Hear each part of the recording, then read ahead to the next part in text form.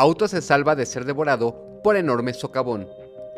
Una calle en la ciudad de Dongguan, al sur de China, colapsó cuando varios vehículos circulaban por el asfalto, formando un impresionante socavón de 3 metros y medio de profundidad. Tras el incidente, no hubo reporte de heridos ni de autos dañados. Los análisis iniciales señalan que la cavidad fue formada por la erosión del suelo,